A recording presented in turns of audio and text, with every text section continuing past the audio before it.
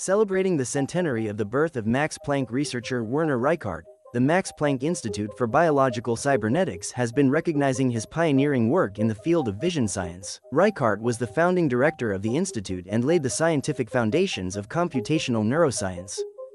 Companions, as well as early and current scientists of his research field summarized early findings and future directions at a symposium.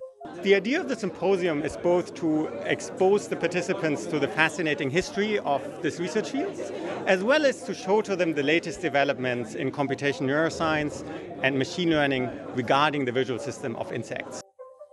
The studied physicist Werner Reichardt is commonly known for the Reichardt detector, a circuit model system which explains how the brain tracks motion.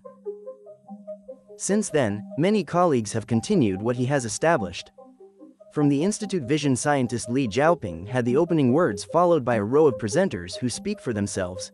Kuno Kirschfeld, a former director of the founding generation of the Institute, Tommaso Poggio from the Massachusetts Institute of Technology, Lisa Fenk and Alexander Borst from the Max Planck Institute for Biological Intelligence, Srinivas Turaga from Howard Hughes Medical Institute, Gwyneth Card from Columbia University, and Johannes Zanker from the Royal Holloway University of London.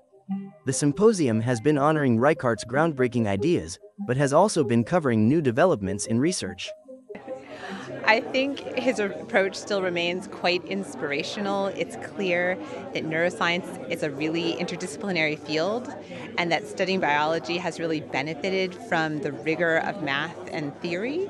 And, uh, you know, I think a lot of that comes um, from his inspiration.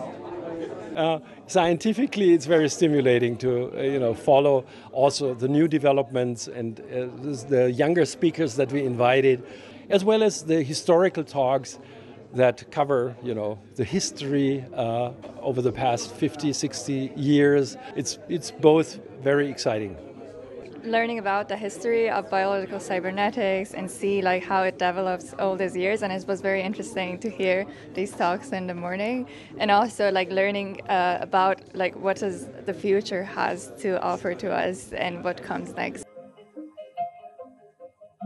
what comes next will also be decided at the Max Planck campus in Tübingen, Germany, an international hub of fundamental research in the neurosciences, biology and artificial intelligence.